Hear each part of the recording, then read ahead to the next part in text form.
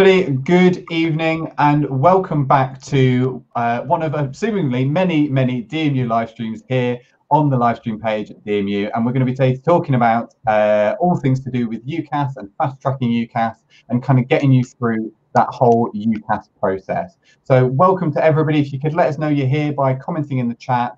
Uh, and obviously, it's a really good place for you to pop your questions if there's anything that we can help you with during this process. My name is Ben. I'm joined by colleagues from the school and college liaison team, and we're here to give you lots and lots of advice about how to apply through UCAS. Now, recent developments with things like the pandemic have actually forced UCAS to push the deadline back. Typically, the UCAS deadline is actually 15th of January. Obviously, that is uh, a date that's imminently arriving, but now UCAS have actually pushed that date to January the 29th, I believe. So that means that now you've got even more time if you are thinking of going to university to spend a bit longer actually researching your options and actually going through the whole UCAS process. And that's exactly what we're going to talk about this evening. We're going to talk about what UCAS is. We're going to talk you through uh, some key dates and key deadlines to be aware of. And then what we're also going to do is just talk to you a little bit about things like the personal statement, the application process, and what happens after you've sent all those applications off. So we'll spend that over the next 40 minutes. And as I say, if you do have any questions at all, do pop those into the comments and we'll try and do our best to answer those during this session. Okay, so let's kick this off really quickly. Let's get straight into it. I'm going to hand over to Dal first of all, who's going to tell us exactly what UCAS is. If you're unfamiliar with the whole process, starting right, right from basics, Dal, what is UCAS? Um, so UCAS, um, first of all, stands for Universities uh, College Admission Service, and it's the central hub for all undergraduate applications. So right now, if you're in a position whereby you haven't even looked at UCAS, you haven't even thought about anything prior to to come into university, please do not panic. You can utilize this live stream um, to help kickstart that journey and, and sort of fast track your application into university. But UCAS is your starting point. So it has tons of information on there for you. So you can have a look at the different universities, you can have a look at the different courses, and it's all done on this UCAS website. When you come to actually filling out your application form, which you still would have to do if you want to apply for, for university, would be done through UCAS. And it has a lot of resources on there to, to sort of guide you and help you along in that journey. Also, if you have a look on our website, I'm sure we'll post the link in a second um, we've done previous live streams that have covered the UCAS process in depth, so you can have a look at those if you are struggling for different areas in the, the UCAS journey. Please do refer to one of those videos to help you. But UCAS, just generally speaking, is that central hub. It has over 50,000 courses, has over 250 different institutions, and it sort of makes your job a bit tricky when you have to sort of narrow that down to, to five choices. But if you need any information around the courses or the different universities, please do start at UCAS. In particular, look at the UCAS search icon. Mm-hmm. Yeah, I think that's a that's a really good start actually. So UCAS, uh, just sort of more broadly, and as, as Dal said there, with loads and loads of live streams and resources available on the website. Just do head over to the web page if you're not already uh, sat on that web page right now, uh, and use those tools and use those resources and use those talks that we've offered uh, to kind of explore more about this. Because again, this is going to be quite a, um, I guess it's a fast track into UCAS, and this is going to be quite a fast tracked uh, sort of live stream. So we're not going to be able to go into loads and loads of detail about certain topics today but certainly when you are if you are at those very very initial stages uh, and you don't even sort of know what the UCAS website is, it's a really, really good place to kind of do that research and actually look into those different university courses.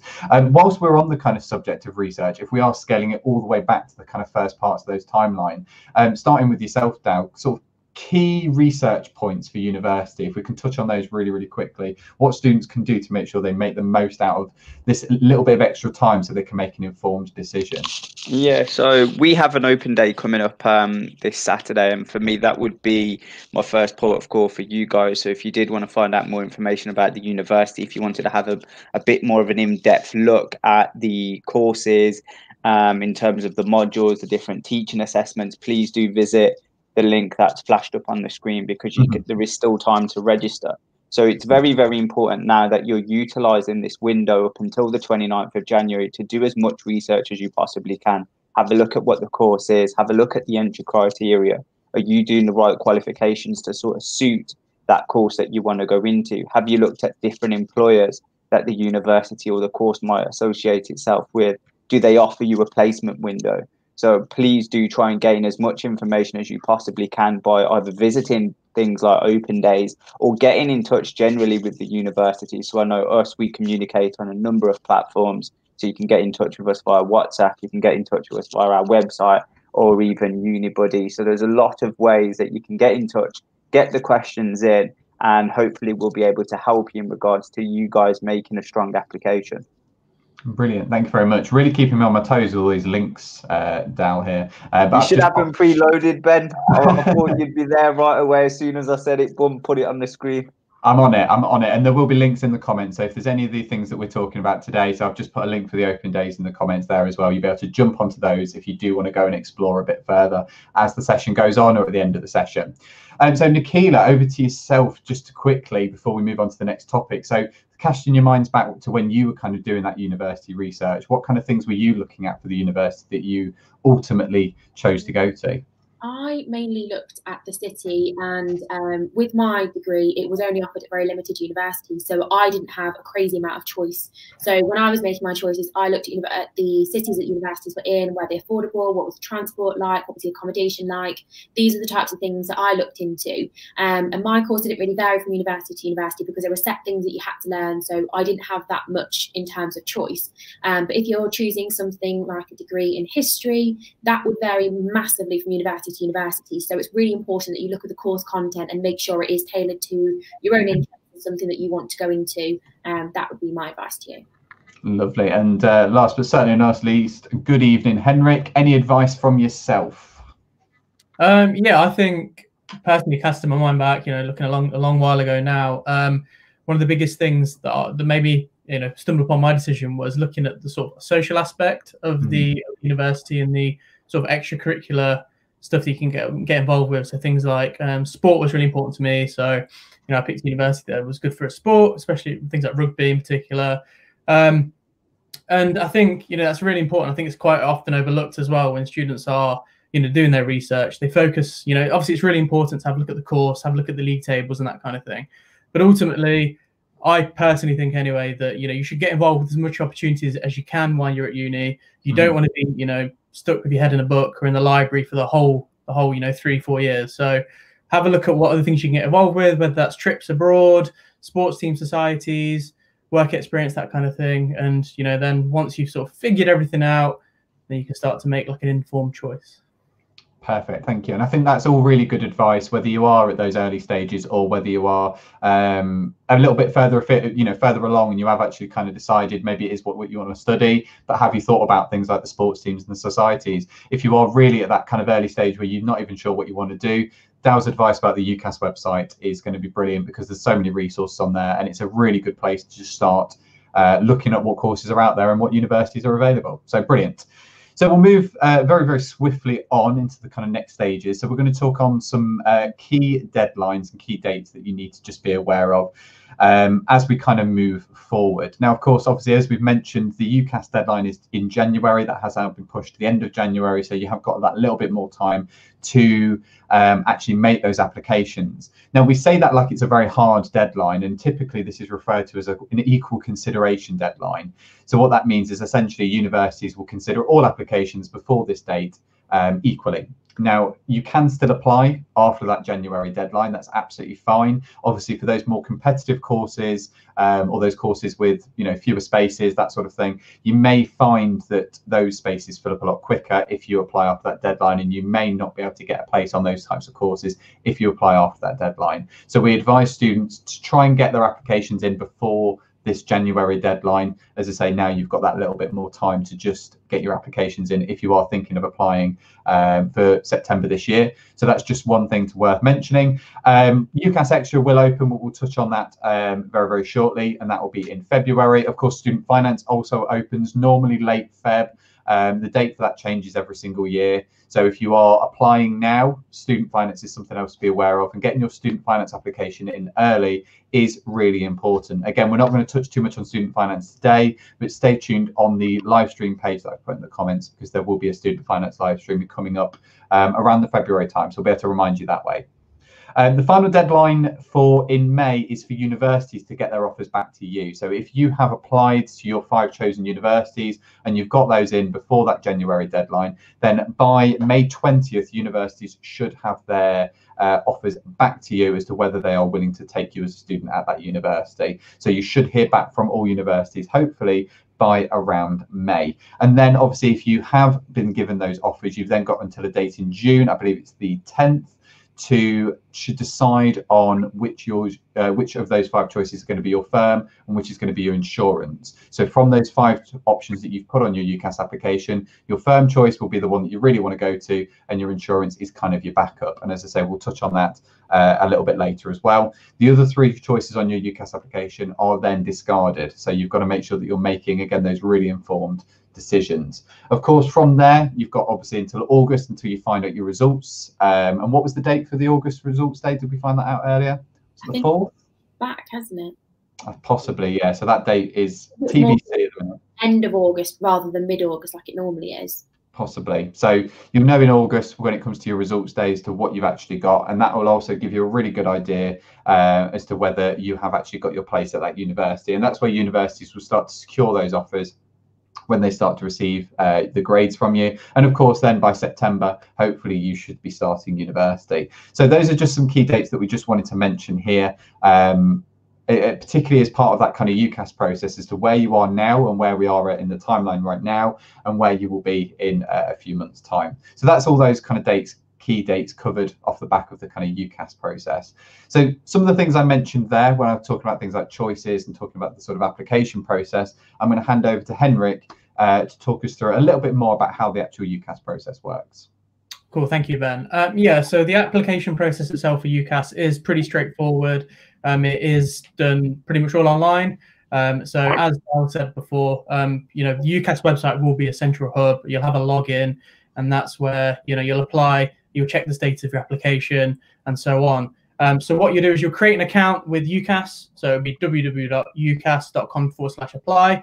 You'll make a username and a password. Obviously, you want to keep this somewhere safe um, because you obviously you need this to log in if you want to check the updates of your applications, which no doubt you will numerous times while you're waiting to hear back from all your choices and that kind of thing. Um, if you are applying through, um, say, a school or a college, um, you'll have a buzzword um, and that will link your application to your school or college. So if you're not too sure about that, um, have a chat with either your personal tutor, uh, your form teacher, your careers advisor, so on. They'll be able to sort that out for you. And then what you'll do is, um, obviously, as Ben said before, you get your five choices. Um, you do send the same application to all five choices. So we do need to reiterate that. So you don't write five different personal statements and send off five different applications. You write one personal statement, you make one application, but it gets sent to five unis or five different courses, however you want to do it. Um, unfortunately, there is a small fee for UCAS. So if you want to apply for just one choice, which you can, that is twenty pounds.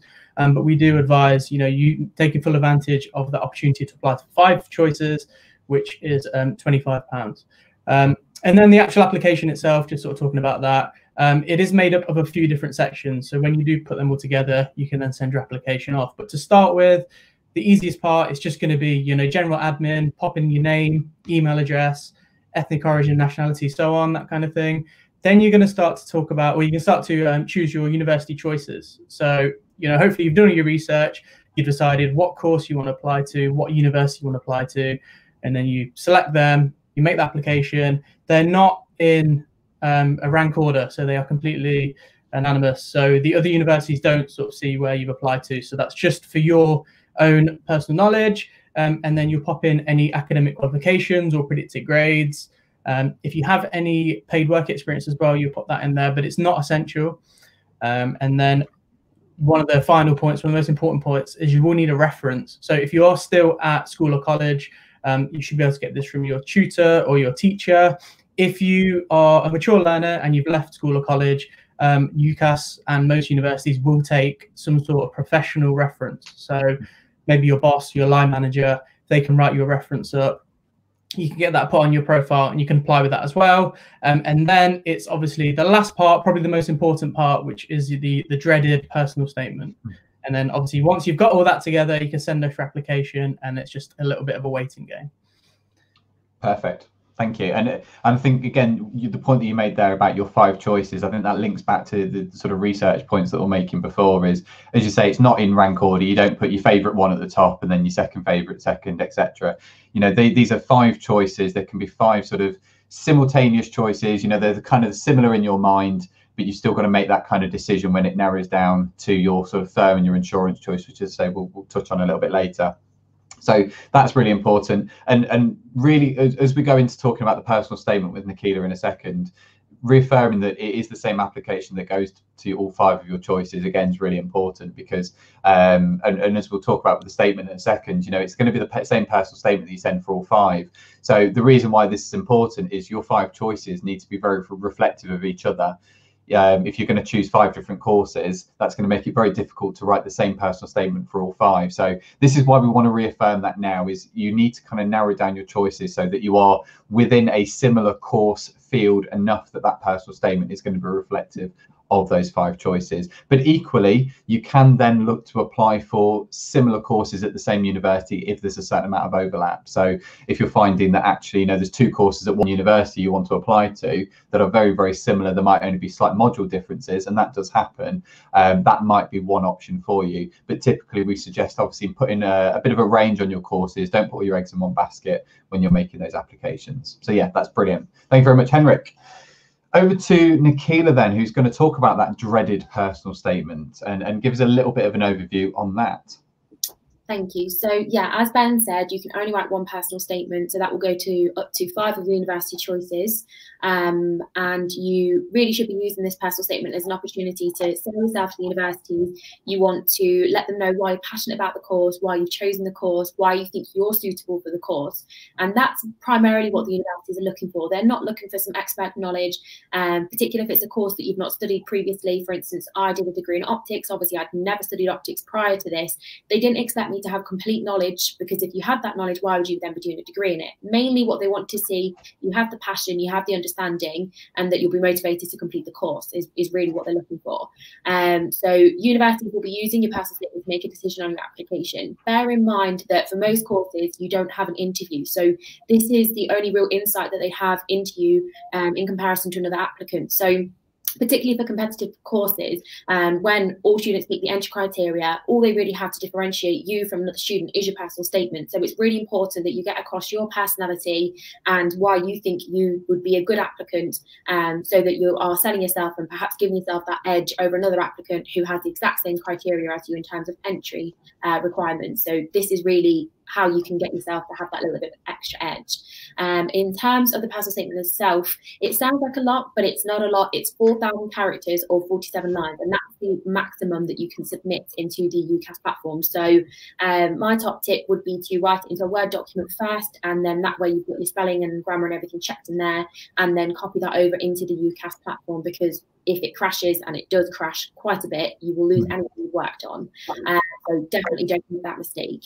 Um, in terms of how to structure the personal statement, we're not going to go into this too much because um, we do hold the live streams on personal statements themselves. Uh, but just to give you a bit of an overview, in terms of the personal statement, we recommend that you start off with a really engaging open paragraph.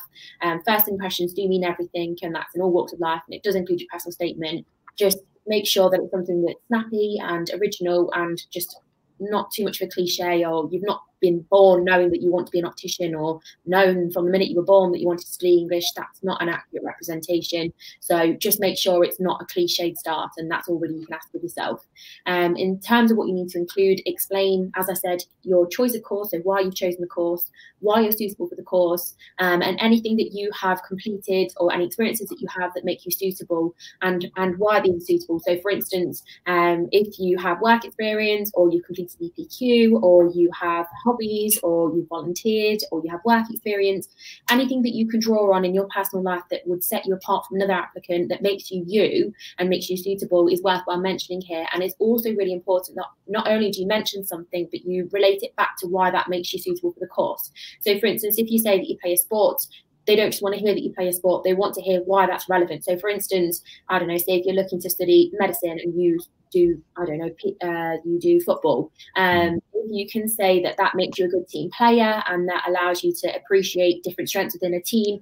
that would make it something worthwhile mentioning as you do often work within a multidisciplinary team within medicine. So it's something that you need to think about, um, think about how to flip things around in terms of how someone reading it who wants to know why you're suitable would want to hear about these things, not just tick box exercises, I do X, Y, and Z, because they want to hear more about that. Um, mm-hmm. in terms of the content, um, we would then recommend that you have a conclusion. Um, which would go over things like your aspirations, your future plans, what you hope to get out of university. So, for instance, if you are studying a set degree to get here afterwards, let them know what your aspirations are so that they can see that you do have a real understanding of where the degree can take you. And that will definitely appeal to uh, people who are reading your personal statement. Um, in terms of how to lay it out, we would say about two thirds of your personal statement should be about the subject and your suitability. And then a final third would be any relevant work experience or voluntary experiences that you have, extracurricular activities. And um, I think definitely don't be afraid to sing your own praises. It can be quite awkward to be sitting there talking about yourself, um, but it is essentially what they're there for. So you don't need to be humble in this one instance. This is really the time to sell yourself. Brilliant. I mean, that was uh, absolute whistle stop tour through personal statements there. It was. Uh, uh, I mean, there's a lot to cover with a personal statement, and we could. I mean, we have done whole streams where we talked for like a solid hour just about the personal statement. So uh, you know, it's the same. It's a shame that we can't obviously kind of cover that all today. But I do want to go over to uh, the guys as well. So Dal, first of all, and just again give your tips, your impressions, because I know you've read quite a lot of personal statements back in the day. So uh, any thoughts adding to what Nikila's just talked about? No, Nikila smashed it quite. quite well. She, she, she's not left anything else for anyone else to say. No, the only thing that I would say is um, have a look very very deeply into your skill set and your attributes. I know it might sound very simple, but sometimes that's the hardest part to convey. Um, what you got to understand is is that this document, as Nikila was saying, is our only representation of you. So we don't get to know you as people. We don't get to have a conversation with you prior to your application or anything like that. We're going to make our judgment based on what you put in this form. So it's very, very important that you understand what your key skills are and what your key qualities are, because that in actual fact is what's going to separate you from candidate A to candidate B. Now, I know in a in her example, Nikila mentioned teamwork and cooperation in the example that she gave with football, but I strongly urge you to look a bit deeper than that as well. So it's absolutely fine that you have these core skills of being able to communicate and being able to work in the team, but also look a bit deeper and have a look um, in regards to your to your academic work. Think about the academic skills that you guys have developed and how that will be useful for you when you transition into university. To have a look at your your analytical nature, for example, your ability to read and think critically. Those types of skills are going to be fundamental for you to being successful at university. And the real crux of the whole thing is by is being able to write it in a way that you can really bring your work to life. So provide us with a short example, explain why that's relevant to either to the course area or to the field or or to university in itself. But for me, my biggest tip is work out what your key skills are, what makes you different, because everything else, and as Nikila was saying, it's easy to put them in. This is where I'm. This these are the skills that I've developed in my academics. These are the skills I've developed in my work experience or my voluntary work or whatever it is that you guys have done. But if you do, if you're not quite sure of what your key skills are, that for me is probably where it becomes a bit difficult. Awesome. Yeah, I think again, really good example there. Just the, developing on more of those skills, and analytical is a brilliant one because obviously that comes into quite a lot of, uh, of sort of university courses uh, and a lot of the university courses studies that you do. So yeah, brilliant. Henrik, anything uh, additional from yourself? We already know Nikila smashed it, but is there anything else that the guys have uh, forgotten to mention? Um, my I wouldn't say anything about adding or you know leaving anything out. Mine's more of a little tip just to maybe get you started. Um, you know, I think we've all maybe sat there and tried to write whether it's a personal statement or an essay or a job application, and it's really hard just to get words in the paper sometimes. Um, so just a little tip for writing a personal statement.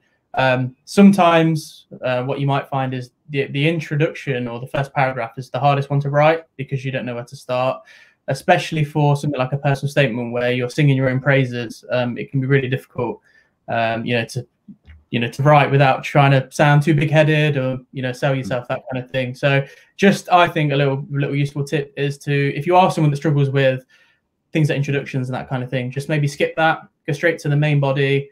start talking through the all the bits that Nikila mentioned, and then maybe once you've actually got the main chunk of your personal statement written down, it might make the introduction a little bit easier because in that introduction, you really want to sort of cut to the chase, get straight to the course that you're interested in, maybe a little brief introduction as to why you want to apply for it. Um, and that can sometimes be the hardest part to write for most people. So by skipping that and then doing it at the end, you might find it's actually a little bit easier. Yeah, definitely. And I think uh, you know those opening paragraphs they, they are difficult they are tricky to nail and and i know now you've had you've had some examples as i say looking at personal statements and sometimes they, that, that opening paragraph can sometimes make or break how I mean, you've got to read all of them ultimately. And I know you did, Dal. Don't tell me lies. But sometimes it can really make a difference to how much you're going to enjoy that and how much yeah. the, reader's going to draw you in. Do you have any final tips for, for sort of kicking it off and getting those pers- that, that opening paragraph sort of nailed? Yeah yeah to sort of drum home what ben's trying to trying to say there is is that if we just speak quite frankly for a moment if there is a large number of applicants applying for a course so let's just my maths wasn't my maths wasn't always a strong point for me so i'm going to try and keep it very simple. Um, let's just say there was 100 spaces available and there's 500 students who've applied.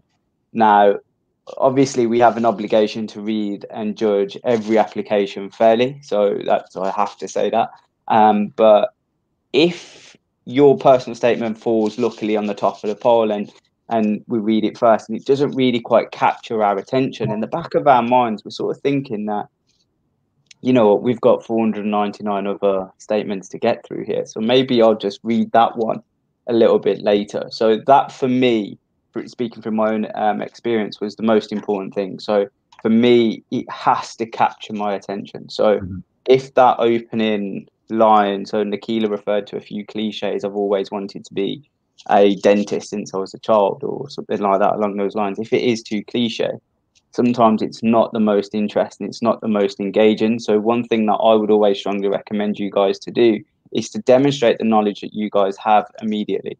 So what one of the common mistakes people might make is that they might think that this is a, a biographical account in terms of you're trying to tell me your life story in actual fact, I just want you to go straight to the point. So you're applying to pharmacy. So tell me what your knowledge of pharmacy is. And sometimes it's a lot easier then to link all your work together. So, for example, if you can give me a brief description or an overview of what pharmacy means to you, you can then tell me where you access that information from. And nine mm. times out of 10, it's going to come from your education. Oh, I do A levels in biology or chemistry, for example. That's where I learned to round that definition or a broad definition of what I believe pharmacy is. And I feel like it's a great way of writing because it helps to cut away the waffle, it helps to cut away a bit of the storytell, but it is vitally important that opening line that you yeah. really do capture the reader's attention. Lovely. Yeah, and we are we are going to move on from personal statements very shortly because we have got other things to go through. But the points that all these guys have made is that it's very very important. It can be quite tricky, but being able to nail that and doing a good personal statement is, is, is going to be super important to making sure that you get onto those courses, particularly and some of the name checked courses that we've had here, medicine, pharmacy, um, are quite competitive and there'll be an awful lot of students that'll be applying for those and it will sometimes come down to the experience and your the information you include on that statement. So yeah really really important so very very key. Uh, so thank you but well, let's move on from statements because we could get wrapped in this uh, for the rest of the stream. We'll be here all evening. Um, so Dan, i'm going to go back over to you again i'm afraid. Um, you're going to be the chatty one of this stream and you're going to tell us what happens after uh, the the application gets sent off. Yeah sure. So from the moment that you've finished your personal statement, uh, you've got someone to check it, your school or college, or if you're going through it independently, you've checked over your UCAS application, you've hit submit. And then what happens at the point of hitting submit is that UCAS will then automatically send a copy of your application to your chosen universities. As Henrik mentioned in the application process, the other universities will not know who your other choices are. It will be sent anonymously and it will only be sent to that university that you've applied for. So we can't see who else you've applied for. Um, we will then assess your application. So this might take a couple of months. So if you stick to the deadlines, um, you'll probably you'll probably be looking to hear back around March April time. Uh, if you've chosen a course that requires a portfolio, so it could be a design related course um, where you have to show a body of work, um, you will be asked for, for a portfolio. So universities will get in touch with you to say, right, can you send this portfolio in? And if you're applying predominantly speaking to health and life sciences or health and social science type courses, uh, you may be invited to interview. Now, with all that's happening in the world currently, it's not suitable for us to conduct face to face interviews. So these interviews will be conducted digitally and it will be done online just to make sure everyone is safe. From there, you can always keep in touch with your UCAS track to find out the progress of your application. So as soon as a university makes any changes or makes any amendments to your to your application, you will be notified via UCAS track. So it's very, very important that you keep your username and password safe as you'll be referring to it throughout the whole process. Lovely. Thank you very much. And we're going to get on to talking a little bit about offers in a second. Um, we have just had a, a, comment come through, so I'm going to very, very quickly address that. If anybody does have any questions during this stream about the UCAS process, do pop them in the comments. If it's something we can answer, we'll obviously do our best to do so. Um, but just very, very quickly, Nikila, I think you said you know the answer to this one. Um, so can you resit UCAT and can you still get accepted for medical school? Yeah, so the reason why I know this is because my sister sat this exam for her dentistry application. Um, right. But basically, with UCAT, some universities consider it more than others do. So my advice would be if you're not satisfied with your score and you think perhaps I could have done better in this, my advice would be look at the different universities that you've applied for. Some universities weigh this more than others do. So it's best to get in touch with the admissions team in each university that you're looking to apply for and find out will this affect my application negatively or is this a suitable score? Bear in mind that obviously this year we've had a very turbulent year. Universities, even medical schools, are going to have to be a bit more accepting of the fact that perhaps you've not had the support or the face to face learning that perhaps would have given you a bit more support this year. So they might be a bit more understanding. Don't quote me on this, and we don't have a medical school at our university, but I just want to say it, there might be a bit of flexibility there. Um, and also, as I say, just to look at universities that perhaps might not consider UCAT as much as your entry criteria or personal statement, work experience, etc. See what kind of weighting they put into that.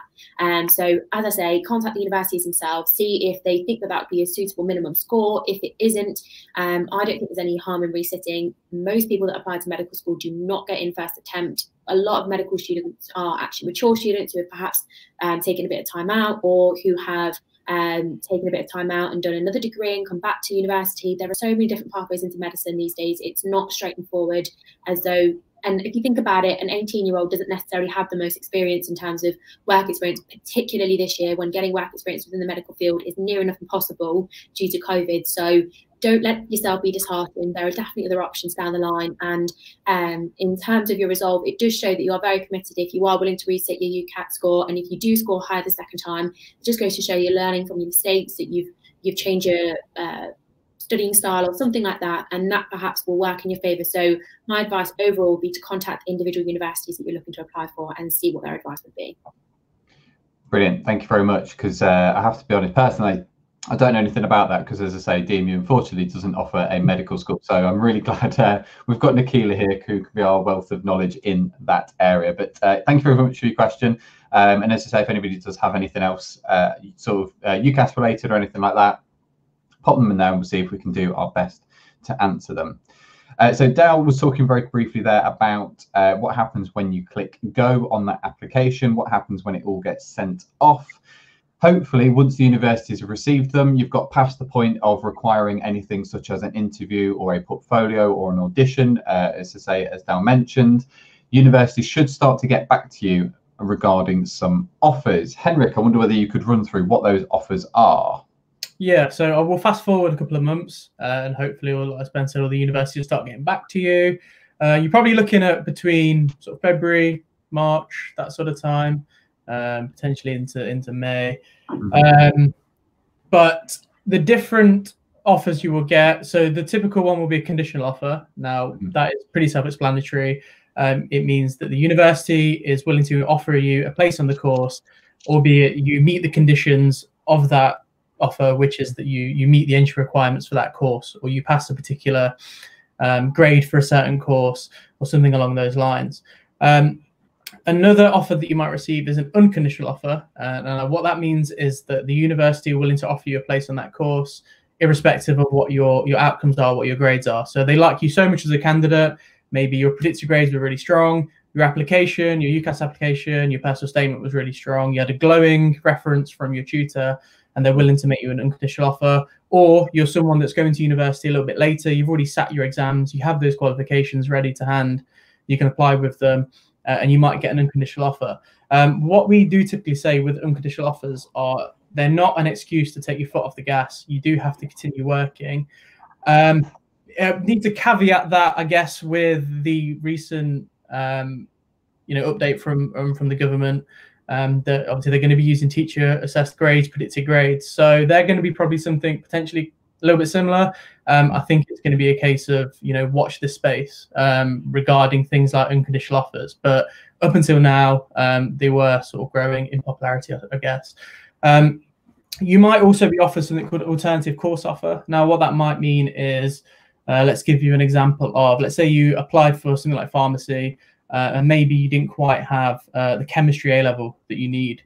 Um, so they might say that you know maybe you're a better suited to something like uh, pharmaceutical and cosmetic science. Now, what that just basically means is that the university, you know, maybe you're not quite a good fit, uh, quite the right fit for the full pharmacy course, but you're you know you're close to it. You can do something that's loosely related in a similar field. Now, you don't have to accept that. That's totally up to you. Um, you have all the right in the world to accept or decline that if is something that gets offered to you. Um, and then obviously you might be um, declined as well. So hopefully that's not the case. That doesn't happen. Um, but in in in scenario of you if you do receive a decline, um, what it just means is that you know the university decides that you're maybe not the best fit for that course that you've applied to. Maybe your predicted grades aren't quite what they're looking for, or maybe your personal statement isn't the sort of thing that matches up with the expectations of that course. Now, hopefully, let's just say you you heard back from all five of your offers. They've offered you five uh, conditional offers um, then it's essentially up to you to decide which one you want to make your firm choice. Now that's your your ultimate choice. That's the choice you want to go to the most. That's your number one choice. And then you also get to make a insurance choice. And now that's more of a sort of safety net, um, a, an option to fall back on if things don't quite go to plan. Come results day for your firm choice. Um, and that's totally up to you. So you can you can decide which one you want to make your firm, which one you make your insurance. And then, as Ben said at the beginning, once you've done that, you get to then disregard three of your offers. They get thrown away, and then you focus on your firm choice. And then you also, like I mentioned, you've got that um, that safety net from your insurance choice if you have to use it come results day. Um, and you know you should have heard back from all the universities by uh, the middle of May, um, and then it's just a case of you decide what you want to do next. Once you've made your firm choice, it is worth then maybe looking at things like applying to student finance, and um, getting in contact with the universities um, to book things like accommodation if you are looking to move out and that kind of thing. Yeah, Brilliant, thank you very much. And, and as I say, we mentioned student finance before, and obviously that's a really important one. With student finance opening, typically, um, sort of, it's usually end of Feb, early March. They tend to just drop it on us like the week before. Um, so with student finance opening around then, if you've already got your offers back very early, if you get them back within you know a week or a couple of weeks time, you can then obviously make your firm choice, and you'll be able to then obviously do your student finance. Uh, but I was to say, as soon as you've got your offers and as soon as you've made your firm choice, definitely uh, jump on student finance as soon as you can and also obviously jump onto things like accommodation and that sort of thing. And as Henrik mentioned, um, unconditional offers, there was a few changes in the previous year uh, surrounding those. We're not quite sure what the sort of full story is around those at the minute, so you might find, find those get phased out or they're, they're less common um, over the coming years, but it's just worth us mentioning it here. Um, so yeah, thank you very much, Henrik. That's uh, all the stuff around the sort of offer making side of things if you apply by this January deadline or shortly afterwards. What we're now going to talk about for the last little part of this uh, live stream before we wrap up is sort of UCAS Extra results day and clearing. And UCAS Extra is an opportunity uh, for students to essentially get an additional offer on their UCAS application. And I'm going to hand over to Nikila uh, to talk a little bit more about that. Perfect, thank you. So UCAS Extra is something that confuses a lot of students, and I'll be honest, I had no idea what it was when I was in uni, well, applying for uni. So you're not alone there if you've never even heard of it before. So, in essence, what UCAS Extra is is if you have been unsuccessful with all five of your choices, or you have changed your mind about the course or university you want to go to, you can add only one extra choice through UCAS. Now, there's no additional cost to this. So if you've already paid £25 for your maximum of five choices, UCAS considers this within that cost. So there's nothing else extra to pay. And um, just so you're aware of the timeline of this, it opens at the end of February until July of the year that you're applying for. So it will open in February of this year and it will close in July of this year.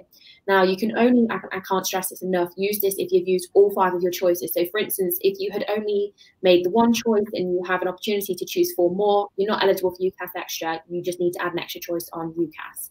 Um, you can't be holding any other offers if you make this. So, for instance, say if you have made five choices and you've accepted your family insurance and you want to completely change your mind, you would need to contact these universities and be withdrawn from your application there before you can add an extra choice on UCAS. So mm-hmm. because of that, we really, really do stress you need to contact the new university that you're hoping to apply for to make sure that they can make you an offer because you do run the risk of withdrawing your other university choices and then not getting another offer. And then the previous universities, if you go back to them and say, actually, we've now filled our places, you can't be accepted here either and you kind of put yourself in a really tricky position. So be proactive contact the new university first make sure that you have it in writing that they can give you an offer and then go ahead and make your changes. Um, and just make sure you're making good choices because it's obviously very difficult to reverse once you've gone ahead with this. Um, yeah so the additional thing is that we do need to let you know is that you can't change your personal statement. So if, for instance, you have a complete change of heart and you want to change your course entirely, um, you aren't normally able to submit a new personal statement. So if, for instance, you want to study philosophy and then you change your mind and think, no, I want to do maths now, you won't be able to submit a new personal statement. However, some universities, if you contact them and ask them very nicely and speak to their admissions team, will allow you perhaps to submit a new personal statement because they understand, obviously, um, people do have a change of heart, and it's actually a good thing that you realise now, rather than being in the course of two years, that you actually do want to change your mind. So, if you ask nicely and you go about it correctly, you may be able to submit an additional personal statement, but do contact the university first to see if that is an option because it would be such a waste of your time to go ahead, write this huge personal statement. If they say, actually, it's okay, you've gone for business studies to accounting and finance, it's not that much of a jump. We'll accept your original personal statement. Uh, so that was original personal statement. So you don't write a new one there. So just speak with the university first. Um, another piece of advice that we'd probably like to share is that you should find out why you've been unsuccessful with your application. So say if you've applied for a particular university and five university choices and all five of them rejected you and you're not quite sure why, it might be something as simple as you don't meet the GCSE criteria. So for instance, on our nursing courses, you do have to have a minimum of a C grade in both English and Maths GCSE or functional skills level two at grade pass. And if you don't meet those basic requirements, something that might not seem very significant to you, you will not be accepted onto the course because it's a massive requirement for the course and something that we can't unfortunately get around. So it might be that perhaps your A levels or your um, BTECs meet the criteria, but something simple like that doesn't meet the criteria. So if you contact the universities and find out why you've not been successful, it will mean you're not wasting your time or wasting an additional UCAS extra choice on something that you have no hopes of getting into without mm-hmm. either GCSEs, for instance, or doing something additional. So definitely contact the universities and find out what it is that you were lacking in your original applications.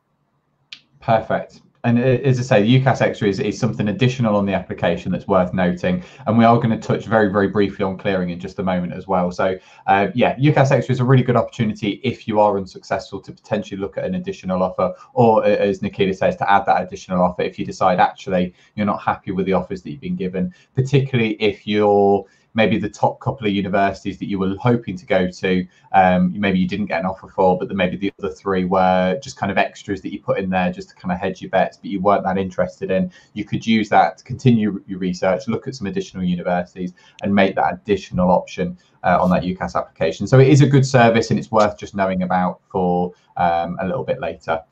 Um, so I'm going to touch really quickly on results day, and then we're going to finish off this live stream talking about uh, clearing, which will tie into some of the stuff that Nikita's talked about there with UCAS Extra.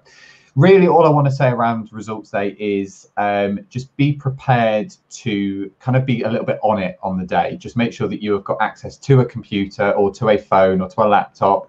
Um, in the eventuality that something may go wrong. Now, if everything goes right on results day and you actually get into the university that you want to go to, brilliant. You don't really have to do an awful lot else at that stage. You'll be contacted by the university that you made your firm choice for those kind of additional next steps. It might be booking certain things, it might be uh, filling out some paperwork, whatever it may be for that university. But results day is really important in case there's any eventualities or any changes that need to be made due to something, as I say, potentially going wrong if you don't quite get the grades that you need uh, for your conditional offer, that sort of thing. Now, as Henrik talked about earlier with the UCAS application, you'll be able to log into UCAS track from eight o'clock on results day and actually be able to see what you achieved and actually be able to see whether you got that place at that university. Um, so you'll be able to go onto there and actually make sure that you have got your firm offer. So at that stage, obviously, that's brilliant. You don't need to necessarily worry about that too much. My advice at this stage, if there is something that you want to change, or perhaps, as I say, you don't get the offer that you needed for results day, then collecting your results from college, whatever that looks like in a pandemic, whether that be um, you're actually allowed to go into college to do that or whatever it might be at that stage. Hopefully, fingers crossed, everything is back to normal come August. Um, from that stage, when you've picked up your results, you will actually be able to contact universities directly in similar format to what Nikita was talking about there with UCAS Extra and be made an offer over the phone, a verbal offer over the phone, which you will then be able to put onto your UCAS application as a clearing offer. Um, we'll talk more about that in just a second.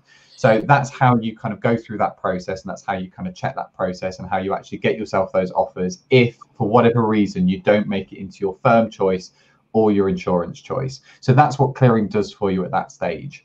Now, you can obviously contact universities, particularly if you don't get into your firm, but you do meet the criteria for your insurance, and that will allow them to confirm that your offer has gone through with that insurance choice, uh, with your insurance choice on your UCAS application.